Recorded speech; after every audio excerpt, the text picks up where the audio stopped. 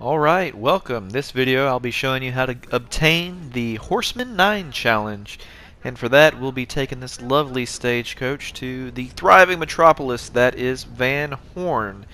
And from here our goal is to haul ass to Blackwater without getting wet in under 17 minutes. You're probably wondering where to get a fast horse to complete this challenge with. This is the stable in Saint Denis. You can get here pretty early on in the game, and they sell three different horses, one of which is an Arabian that's solid black, and you can see it has pretty good base stats right there. I think the speed, acceleration are both six. Another place to get a fast horse, spoilers, this is uh, what, what Blackwater has to offer late in the game. At the Blackwater stable, you can get the fastest horse in the game, which is the Missouri Trotter. It's got a base speed stat of 7, and the acceleration stat is lower than the Arabians, but you can sit at the highest speed for longer. And this is where I also got my beautiful rose gray Arabian, which I think its stats are 6 all the way across the board. Another thing you want to look into is saddles. Um, saddles improve the rate at which stamina and health decrease. The game actually, with its most recent patch, made the special saddles you can make with the Trapper actually do better than the ones you can buy, which is kind of nice. Finally, also included the special horse stimulant. You can make that using sage, bulrush, and wild carrots. Um, that what that will do is will fill your horse's stamina and keep it golden for a very long time.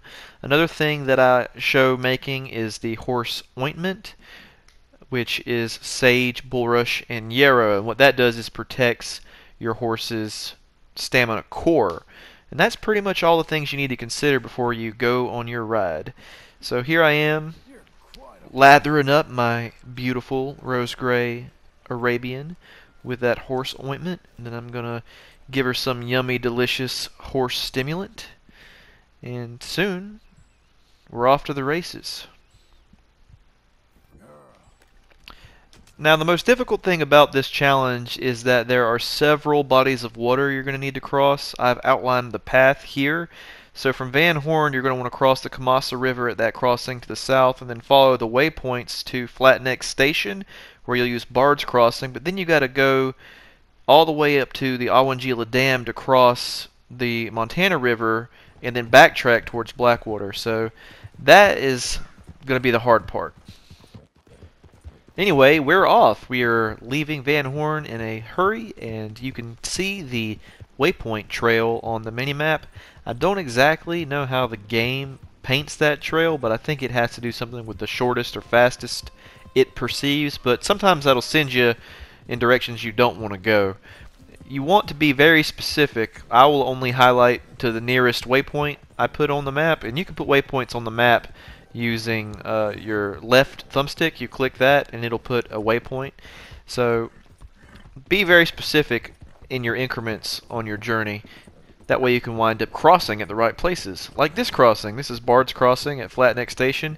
You'll notice that my beautiful rose gray Arabian is having a hard time. Horses go slower over bridges, but this is railroad tracks, but this is the only railroad bridge you need to worry about. Something that I think you really need to worry about coming into Tall Pines is the switchbacks. The switchbacks are going to cut hard back and forth, and you're going to feel like it's really slowing you down, but I highly encourage you to stick to the trail because if you come off the horse, I believe that's it. I think the game won't register it as a trip from Van Horn to Blackwater. It'll register from the time that you got back on your horse to Blackwater, and I don't think it'll give it to you.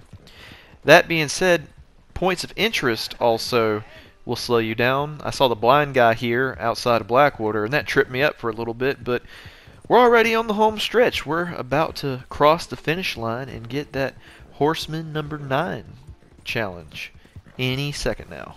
And there it is. That's a Horseman number 9. I wish you the best of luck. It Take your time. It only took me maybe 15 minutes to run the whole path, so don't worry about running out of time. Stick to the trails.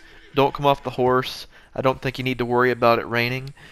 Um, I really hope you enjoyed this video. Thank you so much for watching.